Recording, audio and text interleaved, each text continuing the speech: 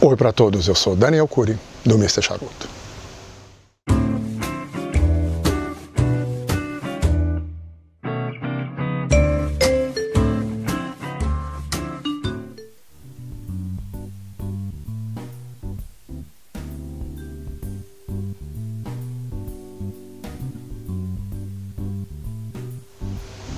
Nosso vídeo hoje provavelmente é o último feito aqui fora.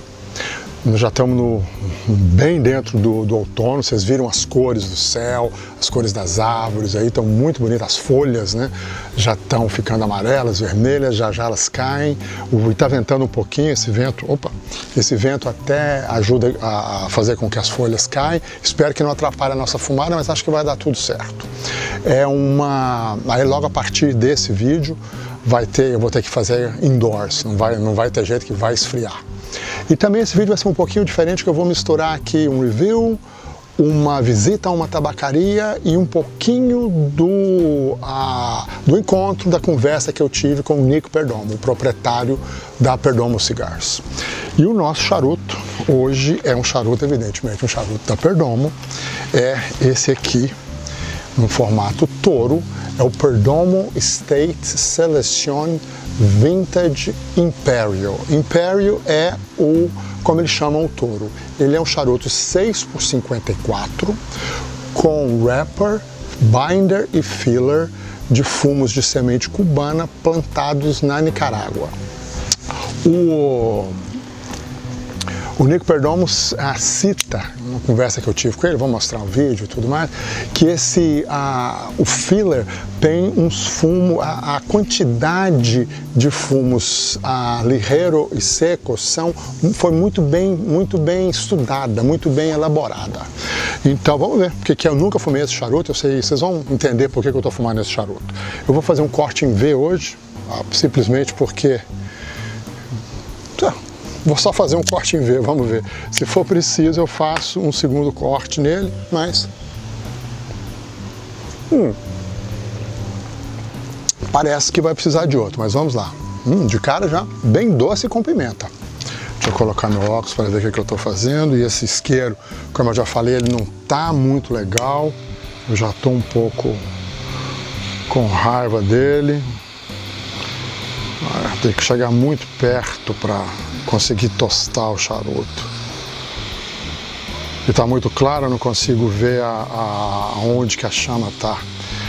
O vídeo indoors é melhor por isso também, eu consigo controlar, ver melhor o que, que eu estou fazendo. Mas tudo isso não é um grande problema, né? Eu, gente, esse charuto aqui, na verdade, ele foi um presente do Nico Perdomo porque eu tive a oportunidade de ir num evento que ele estava presente numa loja, numa tabacaria, que eu vou mostrar vídeos da tabacaria, imagens da tabacaria também. E aí está aceso, acendeu legal.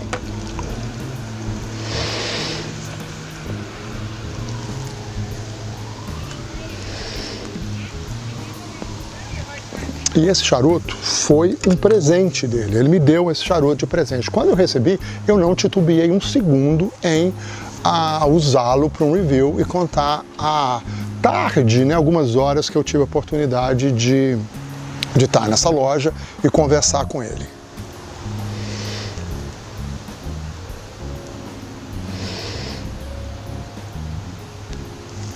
É um charuto que o nome dele é Perdomo State, que quer dizer propriedade, selecione, né, seleção de alguns fumos. Por quê? Porque esse charuto tem a peculiaridade que ele é de uma fazenda aonde que é chamada de a, o nome da fazenda é fazenda Natalie, Natália, a tradução, que é o nome da filha do Nico Perdomo. E, esse, e os fumos que estão são usados nesse charuto são fumos da primeira safra de fumos plantado nessa fazenda, especificamente que fica em Esteli, na Nicarágua.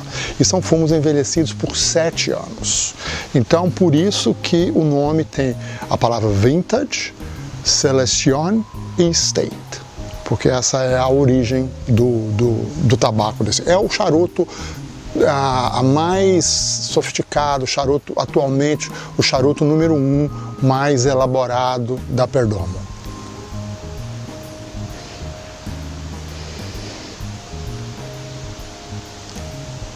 Eu acho que eu vou fazer outro corte nele. Eu esqueci de dizer uma coisa, que ele é o rapper dele é Sungrown, tá? Tem Maduro e tem Connecticut também nessa linha. Eu fiz um duplo V em cruz, em estrela, né? Não sei se vai dar para vocês verem aí, mas eu acho legal esse corte. É quase, ele tem o efeito de um corte reto. Hum.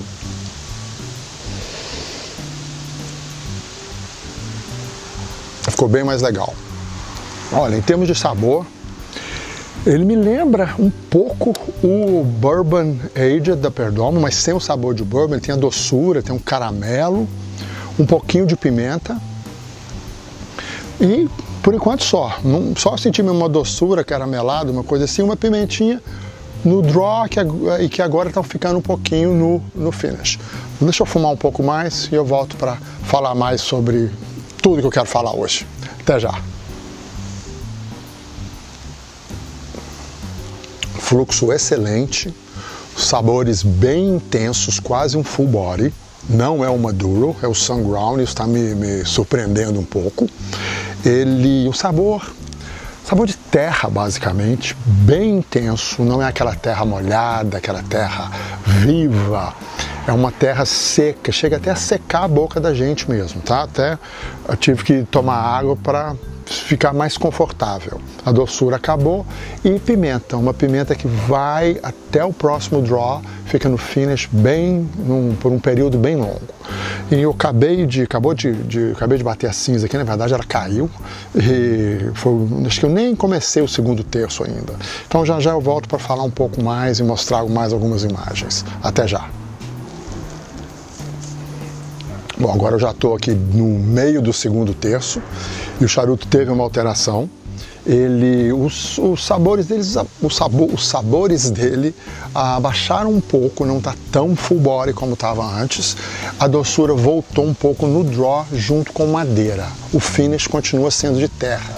Então ele tem bem essa modificação, esses diferentes ah, estágios no draw e no finish. Bem interessante, ficou mais rico do que ele estava antes, tá? Uma sugestão que o próprio Nick Perdomo me deu para ser um pair com esse charuto é bourbon. Isso porque vocês vão ver imagens aqui agora, a gente ficou conversando um pouquinho e tudo, e eu mencionei para ele que eu tinha o, o canal Mr. Charuto, que é o Moreno Brasil, que eu sou meio brasileiro também. E aí ele falou e comentei que o bourbon, o, o cigar, a Bourbon Barrel Aged é muito bem aceito no Brasil. Ele falou, ah, que legal, não sabia disso e tal. Sei que a gente vende charutos por lá e tudo, mas não sabia que o Bourbon Barrel tem essa aceitação grande. Aí que ele sugeriu o bourbon para ser um pair com esse ESV. Ele também mencionou que ele mora em, ah, como chama lá, chama ah, Sunny Isles Beach, em Miami, e no prédio que ele mora tem muitos brasileiros no condomínio e que ele está acostumado com o jeito brasileiro, mais ah, expansivo, mais, mais, amigável e tudo, que ele acha muito legal o jeito do, dos brasileiros, lá dos vizinhos dele, se, se dá muito bem com eles. A gente conversou também sobre futebol, o futebol americano, aquele de capacete, com a bola oval, que o meu filho jogou futebol na universidade, no college, e a filha dele estudou num college chamado Alabama State, que é, já há alguns anos, quase uma década, o programa mais bem sucedido de futebol em, uh, em college aqui nos Estados Unidos, ele participava, ia nos jogos e tudo mais, então ele é bem envolvido com isso também. Aí uma outra coisa que a gente comentou, eu comentei com ele sobre o charuto Hadley Grange, e falei da bateria, tem o, o, o vídeo, tem o, o, review aqui, vai aparecer o card aqui, vocês podem dar uma olhada se ainda não viram. E comentei da bateria porque ele toca a bateria, o, o Nico Perdomo. Então vou até pôr uma foto aqui da bateria dele. E nas feiras e nos stands que ele monta da, da, do Perdomo, ele leva a bateria e toca e tudo. E ele é um, quase que um showman, ele sabe muito bem como atender os clientes, dar atenção para todo mundo nesse evento, na, na, na, nessa tabacaria que eu fui encontrei com ele lá, ele participou depois, conversou com todo mundo e tudo, não tinha uma multidão, mas ele foi hábil o suficiente para dar atenção para todo mundo individualmente, é muito consciente do papel dele de embaixador da, da Perdomo e que o sucesso do, do negócio dele depende da presença dele, de como ele trata as pessoas, muito atencioso, boa gente, isso que o cara é, um cara muito legal. Tá? Então eu vou agora continuar fumando e vou voltar que eu quero mostrar para vocês como é o humidor dessa tabacaria. Vale a pena, é muito bacana. Até já. Antes de mostrar as imagens da tabacaria, só voltei aqui só para tirar a band junto com vocês. É uma band extremamente trabalhada, tá? Saindo com sem, perfeita para sair. É uma band suntuosa, acho que é a palavra que explica essa band. Vou colocar foto, vocês vão ver e não preciso de dizer mais nada. Então, na sequência eu vou mostrar as imagens de lá.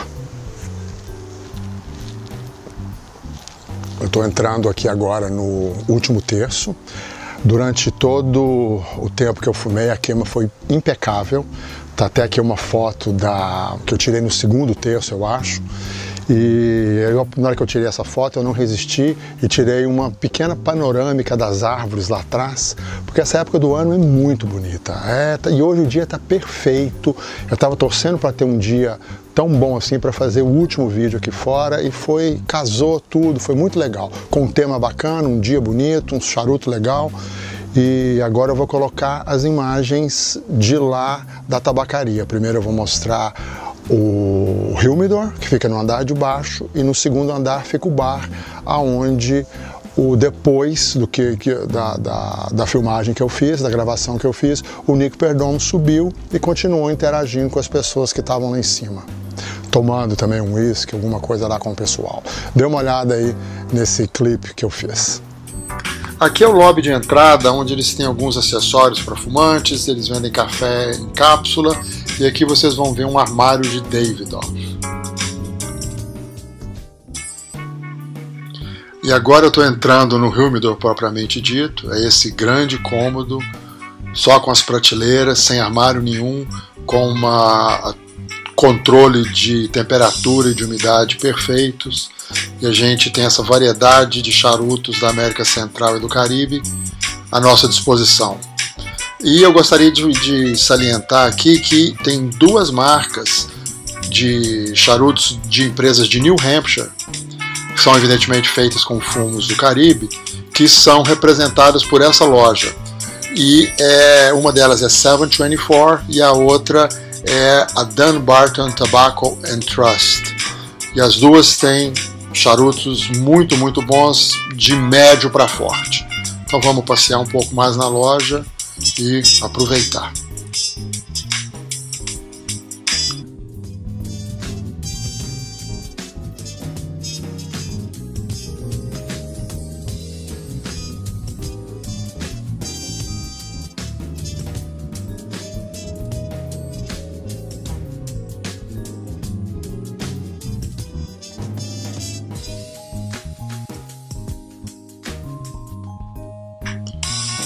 Agora uma tomada panorâmica do bar, onde vocês podem ver a disposição das mesas, cadeiras.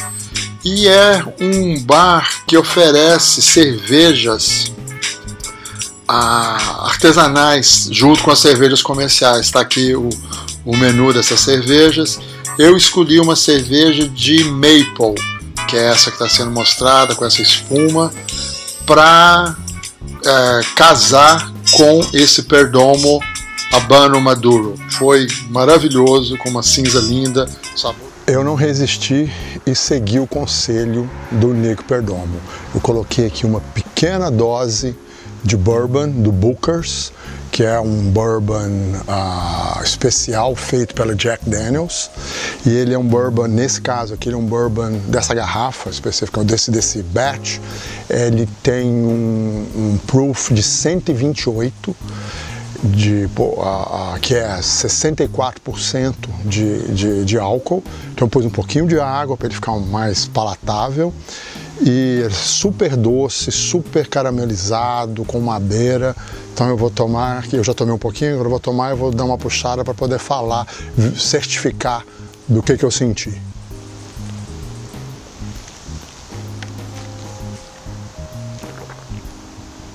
É, ele é um bourbon, é, acho que é o bourbon que eu mais gosto. Ele é bem intenso, bem full body, bem bastante álcool também.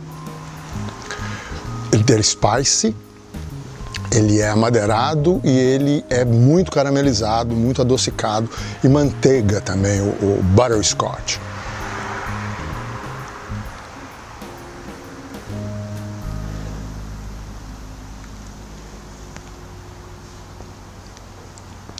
E com o cigarro é um par muito, muito bom. Ele cria um novo sabor. Ele continua, fica super doce, a doçura do, do, do, do bourbon prevalece, mas ele me deu um sabor no final, no finish, que agora ele ficou. Uh, ele eliminou aquela dureza, aquela, aquela a, a agressividade do charuto e ficou uma, um sabor meio que a gente chama aqui de cracker, de graham cracker, de, de, de bolacha, de, de, de yeast, de, de fermento. Lembra, sabe, uma coisa parecida com as cervejas belgas, mas é tudo mais intenso, mais forte, mais, ah, mais amadeirado, mas tem esse, esse toque, esse fundo do, do, da farinha, do fermento e tudo, do cracker. Uma combinação muito, muito boa. E vai com o tempo, agora eu estou sentindo muita madeira, já uma madeira seca. Ficou ressecado um pouco também, que deve ser do peso do, do cigarro. Os fumos usados nesse cigarro, também uma coisa que ele me falou, o Nico Perdomo me falou, eu já disse que é da, da do primeiro da primeira safra da, da fazenda Natalie, mas ele utilizou apenas 3% dessa primeira safra para fazer esse charuto. Segundo ele, são os 3% mais, são os 3% mais ah, ah, melhores, né, que eles classificaram como os, os de, de, melhor qualidade. Então é um charuto bem, bem interessante, bem complexo. Ah, num, o que me surpreendeu foi o body dele, eu achei que ele seria um body mais baixo, mas não, é um, é um body alto.